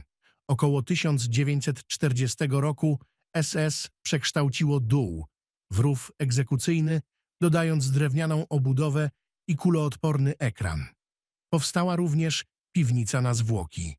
Ówczesny starszy obozu, Harry Naujoks, opisał na wiosnę 1945 roku, co dowiedział się o egzekucji 33 polskich więźniów 9 listopada 1940 roku. Pewien SS-man opowiedział mi następnego dnia, jak to przebiegało. W ziemi został zbudowany głęboki korytarz. Korytarz ten robił zakręt i prowadził do właściwego miejsca egzekucji. Polacy musieli wysiadać z samochodu pojedynczo i biec w kierunku rowu. Z boku stał pluton egzekucyjny. Podczas biegu ludzie byli rozstrzeliwani. Czy wszyscy zostali tak rozstrzelani, czy też część z nich zginęła na właściwym miejscu egzekucji, nie mogę już dokładnie powiedzieć. Później w rowie egzekucyjnym zainstalowano również szubienicę, na której można było powiesić jednocześnie cztery osoby. Tutaj, na kilka dni przed wyzwoleniem obozu, zginął Hans von Donani, który został osadzony w obozie Sachsenhausen za udział w przygotowaniach do zamachu z 20 lipca 1944 roku. 6 kwietnia 1945 roku został skazany na śmierć przez sąd SS w pokazowym procesie. Po bokach rowu egzekucyjnego można zobaczyć prostokątne pole zaznaczone szarym żwirem. To tutaj znajdował się barak, w którym późnym latem 1941 roku zainstalowano urządzenie do strzałów w tył głowy. W ciągu następnych miesięcy SS zamordowało w nim co najmniej 10 tysięcy radzieckich jeńców wojennych. Na północ od rowu egzekucyjnego, za ogrodzeniem, za kuloodpornym ekranem, znajdował się zakład odzieżowy SS, założony w listopadzie 1940 roku, w którym przetwarzano stare materiały. Więźniowie obozu koncentracyjnego byli zmuszani do przeszukiwania odzieży i przedmiotów skórzanych wszelkiego rodzaju, które od 1943 roku były coraz częściej dostarczane z obozów zagłady do Sachsenhausen. Przedmioty te pochodziły z mienia zamordowanych Żydów.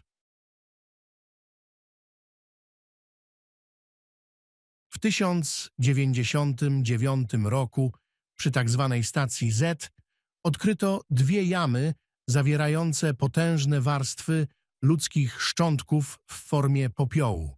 Jest to popiół z dużej liczby nieznanych ofiar obozu koncentracyjnego Sachsenhausen, zamordowanych w latach 36-45. W obozie Sachsenhausen zamordowano dziesiątki tysięcy ludzi, których ciała spalono w krematoriach. SS stworzyło jamy na popioły ludzkie na terenie przemysłowym obozu. Jeszcze w lutym 1945 roku ostatni komendant obozu Sachsenhausen, Anton Kindl, kazał wyrzucić kilka ton szczątków po spalonych ciałach do kanału Oberhavel w pobliżu podobozu Klinkerwerk, aby zatrzeć ślady zbrodni. Po odkryciu jam z popiołem rozpoczęto ukierunkowane poszukiwania na terenie przemysłowym, który od 1940 roku był szczególnym miejscem eksterminacji ludzi w Sachsenhausen. W południowej części terenu przemysłowego, w pobliżu pierwszego krematorium przy wieży numer 10, odkryto trzecią jamę z pozostałościami popiołów po ciałach. Dzięki wskazówkom ocalałych znaleziono również drogę, którą jeden z byłych więźniów nazwał drogą kości. Badania wykazały znacznie podwyższoną koncentrację popiołu ludzkiego w tym miejscu. Przypuszcza się, że popiołem z krematorium naprawiano tutaj drogę. Popiół był wszędzie, wspominał były polski więzień Geisler Fiasko podczas przesłuchania w związku z pracami budowlanymi dotyczącymi przebudowy stacji Z. Podczas tych prac odkryto kolejne ślady popiołu i w trakcie zagospodarowywania zachodniej części długiego budynku na terenie przemysłowym konieczne było zabezpieczenie części drogi kości. Dlatego na zachód od wejścia do rowu egzekucyjnego utworzono miejsce pochówku. Trzy jamy z popiołem, miejsce pochówku oraz droga kości zostały oznaczone szarymi granitowymi blokami jako miejsca pamięci. Stoimy przed fundamentami krematorium i miejsca zagłady w obozie koncentracyjnym Sachsenhausen. Wiosną 1942 roku SS nakazało więźniom wybudowanie w północnej części terenu przemysłowego masywnego budynku z kamienia, w którym znajdowało się krematorium z czterema piecami, kostnica oraz urządzenie do strzałów w tył głowy. SS cynicznie nazwało ten budynek stacją Z. Tak jak więzień wchodził do obozu przez bramę oznaczoną jako wieża A, tak miał go opuścić przez stację Z, czyli jako martwy. Pomieszczenie egzekucyjne, w którym odbywały się strzały w tył głowy, znajdowało się w środku budynku. Na podłodze można jeszcze zobaczyć kratkę odpływową, przez którą wypływała krew po egzekucji. W 1943 roku w stacji Z zbudowano małą komorę gazową, zamaskowaną jako łazienkę, która była używana do mordowania ludzi. Komora gazowa znajdowała się w górnym północnym rogu budynku i jest rozpoznawalna po zachowanych schodach, które do niej prowadziły. Poprzez specjalnie zaprojektowany system rur do wnętrza komory gazowej wprowadzano mieszankę gorącego powietrza z płynnym cyjanowodorem, która była rozprowadzana przy pomocy wentylatora. W latach 1952-1953 skoszarowane oddziały Policji Ludowej NRD wysadziły budynek. Przyczyny tego działania nie są do końca jasne. W późniejszym dokumencie stwierdzono, że planowano tam wybudować strzelnicę. Protesty byłych więźniów doprowadziły do tego, że przynajmniej fundamenty i mury budynku zostały zachowane. W 1961 roku włączono je do miejsca pamięci. Burząc mur, który pierwotnie oddzielał obóz więźniów od terenu przemysłowego i krematorium oraz wznosząc monumentalną halę, która pokryła oba obszary. W latach 2004-2005 Centralne Miejsce Pamięci, stacja Z, zostało przeprojektowane według projektu Biura Architektonicznego profesora H.G. Merza. Oryginalne fundamenty stacji Z są teraz chronione przed warunkami atmosferycznymi i degradacją przez samonośną konstrukcję o wymiarach 37 na 39 metrów. Większe otwarcie w dachu definiuje wewnątrz budynku godne miejsce na uroczystości upamiętniające, znajdujące się pomiędzy rampą a piecami krematoryjnymi. Rzeźba Waldemara Jemka, przedstawiająca dwóch więźniów niosących trzeciego, martwego więźnia, była już częścią pomnika z czasów NRD. Znajdujemy się na terenie Tak placu przemysłowego, który SS wykorzystywało od 1938 roku. Zachowane do dziś budynki zostały zbudowane pod koniec 1940 roku jako zakład Sachsenhausen, należący do niemieckiej firmy Deutsche Ausrüstungswerke GmbH, kontrolowanej przez SS. W zachodniej części kompleksu, widocznej od budynku numer 28, znajdowały się stolarnia budowlana, warsztat ram obrazowych i malarski, ślusarnia, blacharnia, tapicernia, koszykarnia, szewstwo oraz warsztat do produkcji mebli z drewna szlachetnego. W lewej, wschodniej części znajdowały się biura administracji zakładu DAF, garaże, a także warsztaty samochodowe i elektryczne. Na dziedzińcu kompleksu znajdował się tartak. Od 1941 roku więźniowie produkowali w warsztatach DAF przedmioty codziennego użytku. Od 1942 roku DAF przestawiło się na produkcję zbrojeniową, w szczególności na produkcję skrzyń, na amunicję i koszy na pociski. DAF wynajmowało także więźniów jako siłę roboczą do przedsiębiorstw w Oranienburgu, takich jak firma Borsig. W 1944 roku w zakładzie DAF Sachsenhausen pracowało ponad 1500 więźniów obozu koncentracyjnego. Po 1945 roku kierownictwo sowieckiego obozu specjalnego kontynuowało korzystanie z warsztatów placu przemysłowego, dostosowując produkcję do dostępnych narzędzi i materiałów. Inne stałe komanda pracy znajdowały się w rejonie komendantury i w samym obozie więźniarskim. Istniała także seria tymczasowych komand do sprzątania, zbiorów, prac kuchennych lub podobnych zadań. Jednak w obozie specjalnym nie istniał celowy przydział pracy dla więźniów. Do pracy zatrudniano tylko tylu więźniów, ilu było potrzebnych do funkcjonowania obozu oraz zaspokojenia potrzeb komendantury i innych służb. Większość więźniów była wykluczona z pracy, co wielu z nich postrzegało jako zniechęcającą bezczynność. Wieże strażnicze obozu były oznaczone zgodnie z ruchem wskazówek zegara, według liter alfabetu, zaczynając od centralnego budynku wejściowego obozu, czyli wieży A. Wieża E, przed którą się znajdujemy, oznacza północny szczyt trójkąta obozu.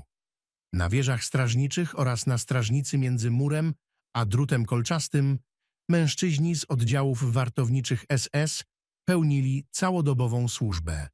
Strażnicy mieli obowiązek meldowania podejrzanego zachowania oraz natychmiastowego użycia ostrej amunicji w przypadku prób ucieczki.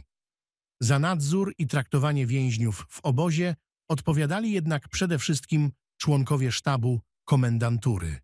Mimo to często dochodziło do przypadków, gdy członkowie oddziałów wartowniczych maltretowali lub nawet zabijali więźniów.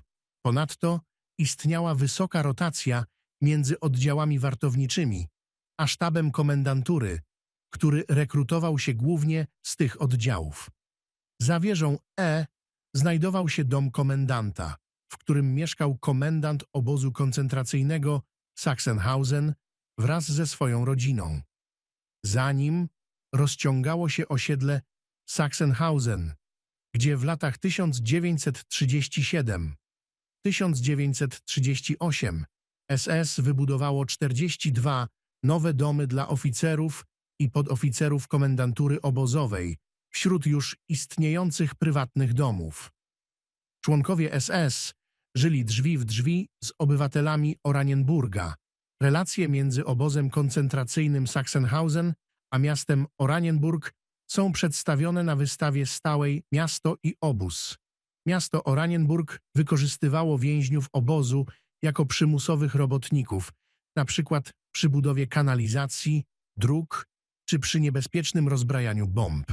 Rzemieślnicy wykonywali pracę dla SS, kupcy dostarczali towary, a drukarnie przygotowywały materiały drukowane dla SS.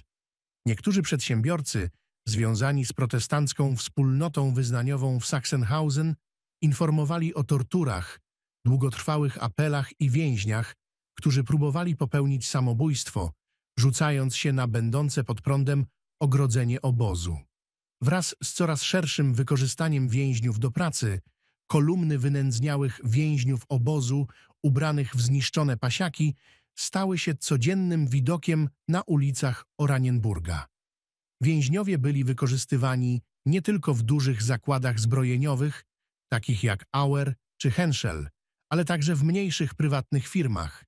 Zwykle mieszkańcy Oranienburga starali się ignorować kolumny więźniów, jednak niektórzy więźniowie wspominają, że podczas marszu przez miasto byli opluwani i wyzywani przez mieszkańców. Znane są jednak również przypadki, gdy mieszkańcy potajemnie podawali pojedynczym więźniom jedzenie. Zbrodnie w obozie nie pozostały niezauważone. Dym z krematoriów czasami unosił się nad miastem jako ciemna, nieprzyjemnie pachnąca chmura. Szczególnie mord około 13 tysięcy radzieckich jeńców wojennych jesienią 1941 roku wywołał niepokój wśród ludności. Nawet dzieci pytały SS-manów, czy dziś znowu palicie Rosjan? Komendant obozu nakazał wtedy członkom SS, aby ściśle trzymali te mordy w tajemnicy lub zaprzeczali ich istnieniu. Znajdujemy się na terenie dawnego obozu koncentracyjnego Sachsenhausen, który SS od 1941 roku wykorzystywało jako obóz specjalny dla prominentnych więźniów i jeńców wojennych. Obóz ten rozciągał się wzdłuż całego wschodniego muru głównego obozu. Przez cały obszar obozu specjalnego prowadziła brukowana droga, której fragmenty są nadal widoczne. Wcześniej była to publiczna droga, która biegła bezpośrednio wzdłuż muru obozowego. Przed nami znajdują się jedyne zachowane budynki. 15 baraków z kamienia, zbudowanych przez więźniów obozu w 1944 roku. SS planowało izolować tutaj więźniów w lepszych warunkach, ale nie jest znane, kto był przetrzymywany w tych barakach. Po drugiej stronie brukowanej drogi, naprzeciwko kamiennych baraków, stały cztery półtora kondygnacyjne domy jednorodzinne, obite drewnem. Na wschód od nich znajdowały się liczne drewniane baraki.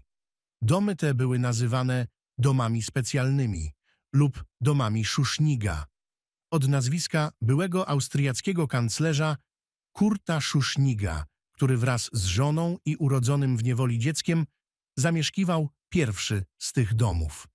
W drugim domu przetrzymywano między innymi socjaldemokratycznego posła do Reichstagu Rudolfa Breitscheida oraz przemysłowca Fritza Thysena. Po nieudanym zamachu na Hitlera z 20 lipca 1944 roku SS wykorzystywało dwa z czterech drewnianych domów do internowania 12 członków rodu Wittelsbachów, w tym dziewięciorga dzieci. W więźniach drewnianych baraków, znajdujących się na wschód od domów specjalnych, byli członkowie greckiego sztabu generalnego oraz kilku brytyjskich i radzieckich oficerów i żołnierzy. Wśród nich był również najstarszy syn Stalina, Jakow Dżugaszwili, który został zastrzelony w obozie Sachsenhausen w 1943 roku. W przeciwieństwie do więźniów w głównym obozie koncentracyjnym, więźniowie w obozie specjalnym żyli w znacznie lepszych warunkach. Niewiele wiadomo o wschodniej części obozu specjalnego. Można wejść na ten obszar przez bramę na końcu brukowanej drogi. Z baraków, które częściowo jeszcze w 1945 roku były w budowie, zachowały się jedynie fundamenty. Można zobaczyć taki fundament, jeśli skręci się w lewo za bramę. W sowieckim obozie specjalnym, dawny obóz specjalny KZ Sachsenhausen został przekształcony w strefę drugą z sektorem wschodnim i zachodnim. Pomiędzy styczniem a czerwcem 1946 roku sowiecka administracja obozowa przetrzymywała tutaj około 6,5 tysiąca byłych oficerów Wehrmachtu którzy wcześniej zostali zwolnieni z amerykańskiej lub brytyjskiej niewoli i wrócili do swoich domów w strefie okupacyjnej ZSRR. Po internowaniu w Sachsenhausen zostali deportowani na przymusowe roboty do Związku Radzieckiego.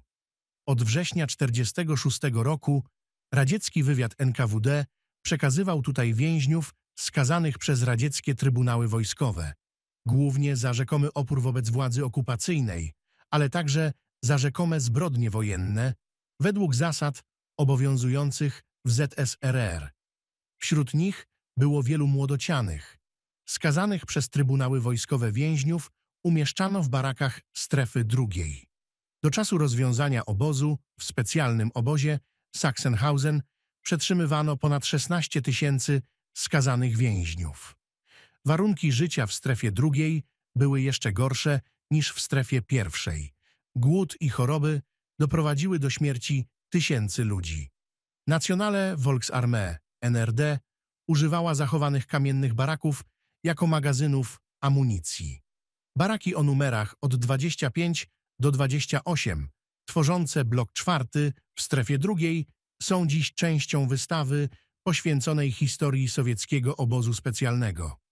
W dwóch barakach świadkowie opowiadają o warunkach życia w strefie drugiej, o położeniu nieistniejących już budynków dawnego obozu specjalnego KZ i strefy drugiej sowieckiego obozu specjalnego, ich funkcjach oraz zmianach konstrukcyjnych po 1945 roku informują tablice, które znajdują się po obu stronach dawnej drogi obozowej.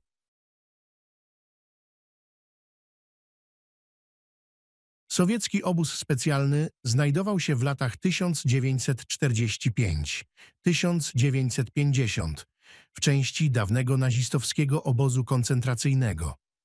Ta podwójna historia użytkowania łączy Sachsenhausen z innymi miejscami, takimi jak Buchenwald czy Jamlitz Liberoze. W procesie nowej koncepcji miejsca pamięci wywołała ona kontrowersje między ocalałymi z obu obozów. W muzeum otwartym w 2001 roku, poświęconym historii sowieckiego obozu specjalnego, skupiają się historyczne odniesienia związane z tym obozem. Tutaj znajduje się granica między strefą pierwszą a strefą drugą.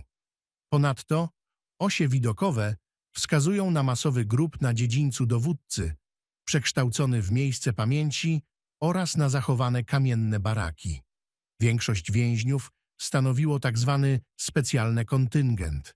Sowiecka władza okupacyjna internowała około 30 tysięcy cywilów w kontekście alianckiej denazyfikacji. Wśród nich znajdowali się głównie niżsi i średni funkcjonariusze NSDAP, w szczególności blokowi i kierownicy komórek. W niewielkim stopniu na listach internowanych pojawiają się również członkowie SS, Gestapo lub strażnicy z obozów koncentracyjnych, a także pracownicy ministerstw i urzędów. Do grupy internowanych należeli również zwykli członkowie organizacji młodzieżowych NSDAP, a także przeciwnicy polityczni i osoby aresztowane przypadkowo. Internowani pozostawali przez lata bez wyroku sądowego, zamknięci w strefie pierwszej. Drugą co do wielkości grupę stanowili liczący około 16 tysięcy osób. Więźniowie skazani przez sowieckie trybunały wojskowe. Większość z nich została skazana za domniemany lub rzeczywisty opór wobec władzy okupacyjnej w pokazowych procesach. Po brutalnych przesłuchaniach i często wymuszonych torturami zeznaniach zostali skazani na długie kary więzienia. Skazani przez sowieckie trybunały wojskowe byli oddzieleni od internowanych i przetrzymywani w strefie drugiej. Wcześniej, w pierwszej połowie 1946 roku, internowano tutaj około 6,5 tysiąca oficerów Wehrmachtu.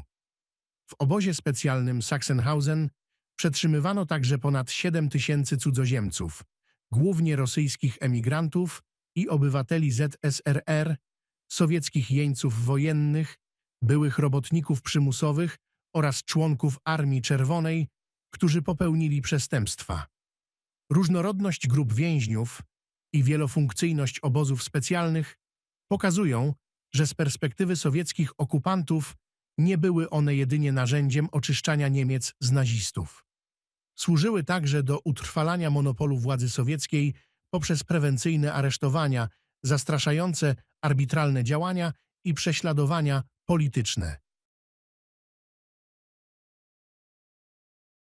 Za ogrodzeniem przed nami znajduje się największy z trzech masowych grobów, w których pochowano zmarłych w sowieckim obozie specjalnym. Cmentarz jest dostępny przez bramkę obrotową, która umożliwia również powrót do miejsca pamięci. W tym miejscu bezimiennie pochowano od siedmiu do ośmiu tysięcy więźniów. Po tym jak pracownicy miejsca pamięci z udziałem świadków odkryli w 1990 roku pierwszą masową mogiłę w lesie Schmachtenhagener, przeprowadzono badania w północno-wschodniej części obozu. W trakcie poszukiwań w 1992 roku dokładnie ustalono położenie masowych grobów na terenie Kommandantenhof oraz w obszarze zwanym Anderdüne. Już w latach 69 i 89 w tym obszarze, wykorzystywanym przez Narodową Armię Ludową jako teren ćwiczeń, znaleziono ludzkie szczątki. Wszystkie miejsca pochówku zostały godnie upamiętnione. W 1993 roku prezydent Landtagu Brandenburgii poświęcił cmentarz w Kommandantenhof, który został zaprojektowany przy znaczącym udziale Stowarzyszenia Lager Sachsenhausen. Od tego czasu corocznie odbywają się uroczystości upamiętniające na grobach poległych. Podczas badań masowych grobów medycy sądowi odnaleźli wiele zardzewiałych metalowych tabliczek. Każda zmarła osoba otrzymywała aluminiową tabliczkę, przymocowaną do dużego palca prawej stopy z wytłoczonym numerem. Każdy zmarły miał swój numer rejestracyjny, relacjonował Karl Ewald Beinert, były więzień, który od lutego 1947 roku pracował jako sanitariusz w szpitalu obozowym. W obozie specjalnym Sachsenhausen już we wrześniu 1945 roku ponad 500 więźniów zmarło w wyniku epidemii czerwonki. Gdy w listopadzie 1946 roku sowieckie władze drastycznie zmniejszyły i tak skromne racje żywnościowe, masowe zgony przybrały na sile. Tylko w lutym 1947 roku zarejestrowano 1200 zgonów. Spośród około 14,5 tysiąca więźniów obozu, 12 tysięcy nie przeżyło pobytu w obozie specjalnym Sachsenhausen. Niedożywienie, katastrofalne warunki higieniczne, brak opieki medycznej, brak odpowiedniej odzieży oraz obciążenie psychiczne przyczyniły się do tej wysokiej śmiertelności. Najczęstszymi przyczynami zgonów były gruźlica, choroby serca i płuc oraz infekcje żołądkowo-jelitowe wynikające z ekstremalnego niedożywienia. Tak zwane komando do spraw zwłok musiało bezimiennie grzebać zmarłych w masowych grobach wokół obozu.